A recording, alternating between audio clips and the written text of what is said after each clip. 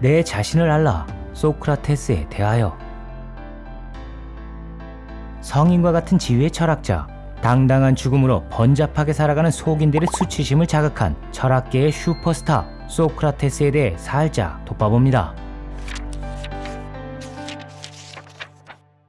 소크라테스의 아버지 소프로니쿠스는 석공이었습니다. 조각가로 표현된 것도 있는데 사실 고전시대의 석공은 조각과와 별반 다르지 않았죠. 기회와 예술의 경계가 날카롭지 못했던 이유인즉 인간의 몸을 최상의 미로 감각했던 그리스인들의 탁월한 기질 덕분입니다. 아름다움은 추상적 간접성이 아니라 직접적 구체성이라고 그들은 감각했죠. 때문에 당대 석공은 대단한 직업이었습니다. 그들에게 국경조차 없었죠. 모든 폴리스에는 완벽한 성병을 쌓는 기술자가 필요했고 모든 신전에는 아름다운 조각을 새겨넣는 예술가가 있어야 했기에 그들은 귀한 대우를 받았죠. 그러나 소크라테스는 돌을 다루는 기술 연마에 별반 관심을 보이지 않았다고 전해집니다.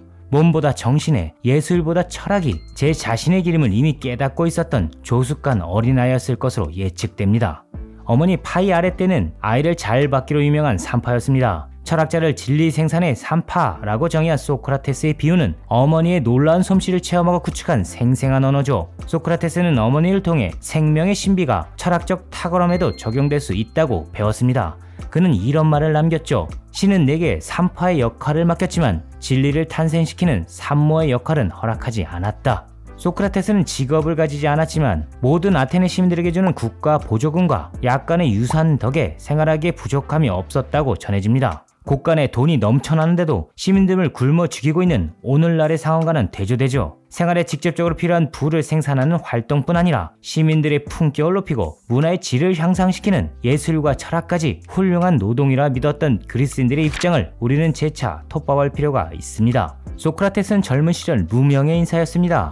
기원전 431년 펠로폰네스 전쟁이 일어날 무렵 마흔이 다 되어서야 소크라테스는 세상에 알려지죠.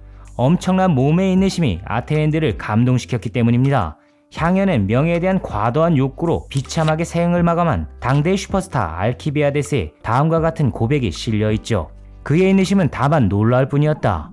보급이 다 끊어지고 이제는 굶은 채 행군하지 않으면 안 되게 되었을 때 그는 나뿐만 아니라 그 누구보다도 앞서 행군했다. 소크라테스는 얼음 위를 맨발로 그리고 보통 옷을 입고서 구두를 신고 있는 다른 어느 병정보다도 잘 행군했다. 그리하여 모두가 자기들을 깔보는 것 같이 느껴져서 그를 노려보았던 것이다. 보통 사람을 부끄럽게 만든 저 인내심에 적군까지 감동해 소크라테스가 전쟁의 폭판으로 걸어나올 때는 공격을 멈추곤 했다는 전설까지 전해집니다. 탁월한 인간을 아꼈던 그리스인들의 또 다른 품격이죠. 소크라테스는 오늘날 용모가 알려진 최초의 철학자이기도 합니다. 툭 붉어진 눈, 균형이 맞지 않은 얼굴 형태, 뭉툭한 코와 두툼한 입술, 불룩한 배와 땅딸만한 체격은 마치 반인반세의 모습을 한 사티로스처럼 보였다고 전해지죠. 소크라테스를 닮았다는 말은 엄청난 조롱이었습니다. 수학에 뛰어난 재능을 보인 한 젊은이가 이 말을 읽고 정색하며 반박했다는 기록까지 남아있을 정도죠. 반대로 소크라테스 같이 생각한다는 말은 진지하고 철학적인 태도를 나타내는 칭찬이었습니다. 현재까지 우리는 숙고의 이미지를 그를 통해 연상하죠. 미동도 없이 종일 깊은 사회에 빠진 소크라테스의 모습은 플라톤의 대화편에 속속 등장하곤 합니다. 또한 소크라테스는 자신의 고향 아테네를 무척 사랑했습니다.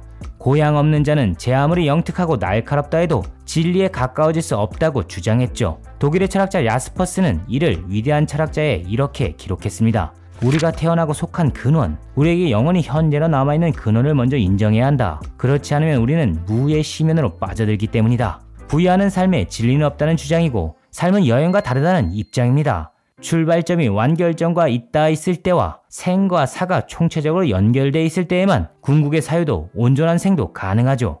때문에 소크라테스의 소명은 인간 속에서 그 자신을 찾는 일이었습니다. 끝없이 사유하고 질문하고 탐구함으로써 인간 본연의 모습으로 돌아가게 하는 것이죠. 그가 자주 인용한 이 말로 압축할 수 있겠습니다. 네 자신을 알라. 이런 소크라테스 입장은 당대 많은 비난을 받았습니다. 아리스토파네스는 유명한 희극 구름에서 소크라테스를 헛소리를 떠들어대는 사기꾼으로 그렸죠. 아내 크산티페가 세상에서 가장 지독한 악처로 떠오른 이유도 깊은 내면의 영혼을 자극하고 번민을 일으키며 억압적으로 강요하는 대화가 많은 아테네인들에게 불편했기 때문입니다. 그러나 소크라테스는 플라톤과 달리 소피스트적 변증론에 반대하지 않았죠. 인간적인 인간만이 좋은 공동체를 구축할 수 있다고 믿었기에 그는 끝없이 대중 곁으로 다가왔습니다. 그에게 정비된 철학적 이론이 없는 이유죠. 철학이 단순히 학설이라면 소크라테스는 철학자가 아닙니다. 그는 글을 쓰지도 이론을 다듬지도 않았죠. 그러나 그는 우리가 흔히 쓰는 용어 사유의 발명가죠. 어떻게든 결론을 내는 소피스적 토론 문화가 승자 독식이 될 수 있다고 소크라테스는 알고 있었습니다. 토론을 학습하기 위해선 여건과 관계가 요구되지만 사유는 나 자신의 대상이기에 경제적, 정치적 조건으로부터 자유롭습니다. 스스로 단련할 수 있고 스스로 완성된 세계로 나아갈 수 있죠. 누구나 진리에 열려있는 이유입니다. 이를 증명하기 위해 소크라테스는 독배를 마셨습니다. 그의 죽음은 재판에 의한 살인이기보다 재판에 의한 자살에 가깝죠. 생명이란 최후의 무기로 삶의 풍요를 상황과 조건에서 찾는 세력들과 맞서 싸웠습니다. 펠로폰네스 전쟁에서 진 아테네인들에게 승자의 포만보다 놀라운 존재의 가치를 목숨으로 증명해내고 싶었던 것이죠. 헤겔은 소크라테스의 죽음에 대해 아테네의 실체를 지키려 했던 아테네인들의 주장도 옳으며 그 실체의 파괴를 전제로 새로운 세대를 열려 했던 소크라테스도 옳다고 씁니다. 승부를 내려는 소피스트나 승부의 룰을 바꾸려는 소크라테스나 죄다 긴장을 창출하는 존재들입니다. 철학자는 문장을 기술하는 전문가가 아니라 우리를 흔들고 사회의 유혹에서 벗어나지 못하게 유혹하는 등에인 것이죠. 소피스트는 정당한 승부를 내는 방식으로 소크라테스는 조건을 무력화시키는 방법으로 긴장하는 삶의 포만을 가르쳤습니다. 소피스트가 외적 긴장의 표상이라면 소크라테스는 내적 긴장의 대표 이미지죠. 탁월함에 대해 논하는 메논에는 그 적절한 예시가 있습니다. 메논이 말합니다.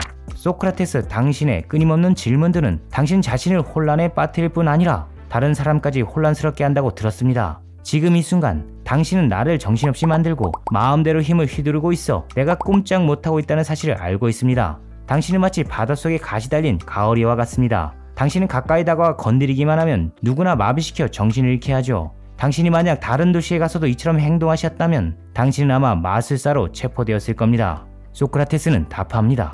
그 물고기가 상대는 물론 자기 자신까지 마비시킨다면 나를 가시 달린 가오리로 비유한 당신의 생각은 옳습니다. 하지만 만약 그렇지 않다면 당신의 비유가 반드시 맞다고 할 수는 없습니다. 나는 일부러 다른 사람들을 공경에 빠뜨리는 것이 아니라 나 자신도 해답을 몰라 공경에 처하기 때문입니다.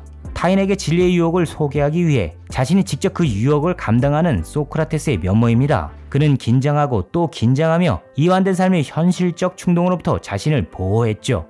부와 명성과 안정과 여유가 존재의 존엄한 가치가 될 수는 없습니다. 탈 긴장은 속되고 평준화된 삶의 양식이죠. 모든 진리는 혼란과 좌절을 통해 깨닫게 되는 것이고 그 어지러운 긴장에서 꼽힙니다. 이것이 아레테, 즉 큰 삶이죠. 소크라테스가 위대한 이유는 그의 최후의 말 속에도 담겨 있습니다.